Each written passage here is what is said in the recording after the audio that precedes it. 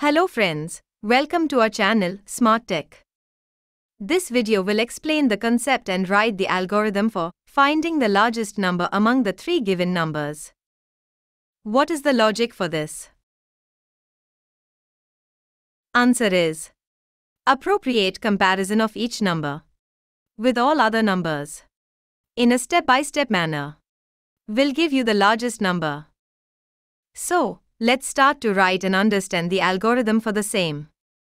Step 1 is always start. Next step, you need to ask user to enter the three number, one by one. Let's say A, B and C. Next step is the comparison between any two numbers, here, let's take A and B.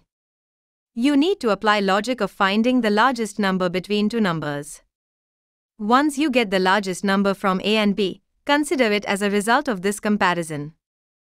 Here, we rename the result with the name called largest. No matter which is larger. A or B, store that result with new name called largest. Now, in this step, as we got the larger number from the comparison of previous two numbers, it's a time to compare that with remaining. So, here we need to compare largest with C. After this comparison, we are able to find one more larger value, and we store that value in the result. As we have compared the largest, that is the result of the previous comparison.